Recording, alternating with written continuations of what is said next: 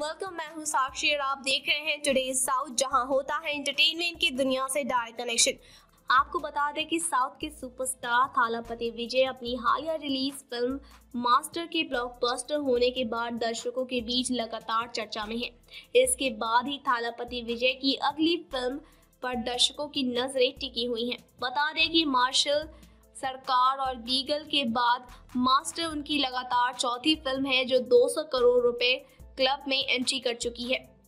ऐसे में उनकी अगली फ़िल्म भी दर्शकों के बीच चर्चा में बनी हुई है। मगर इसके बावजूद दर्शकों को उनकी अगली फ़िल्म के लिए लंबा इंतज़ार करना होगा। खबरों की माने तो मास्टर स्टार थालापति विजय अपनी अगली फ़िल्म दिवाली 2021 के मौके पर लेकर आने वाले थे। मगर अब इस मौके पर सुपरस्टार रजनीकांत अपनी फ़िल्म अन्नाथे की रिलीज़ डेट का ऐलान कर चुके हैं। जिसके बाद थालापति विजय अपनी फ़िल्म की रिलीज़ डेट में बदलाव कर रहे हैं। दरअसल सुपरस्टार रजनीकांत की अनाथे और थालापति विजय की, की अगली फ़िल्म दोनों को ही सन पिक्चर्स प्रोड्यूस कर रहे हैं। ऐसे में दर्शकों के बीच भी यही सवाल था कि अब मास्टर स्टार की फ़िल्म कब रिलीज़ होगी।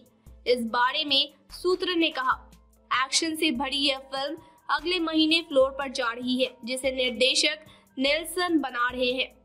इसमें विजय एकदम अलग अवतार में दिखेंगे, जैसा उन्होंने अभी तक नहीं किया है। यह फ़िल्म जुलाई 2021 तक पूरी हो जाने वाली है, मगर इस फ़िल्म को पोंगल 2022 पर रिलीज़ करने की तैयारी है।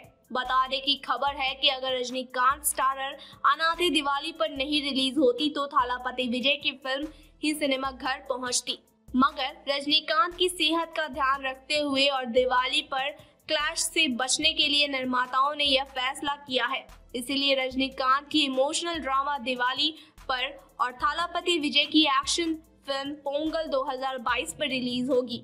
जबकि थाला अजित स्टारर वल्ली मई साल 2021 में स्वतंत्रता दिवस के मौके पर रिलीज़ हो सकती है। इस फ़िल्म में वो एक पुलिस के रोल में दिखेंगे, जो रियल लाइफ में एक बाइक रेसर भी है। खैर, आप लोग इस पूरे मामले पर कुछ कहना चाहते हैं तो हमें कमेंट बॉक्स में ज़रूर बताएँ। थैंक यू सो मच की watching for more entertainment news and update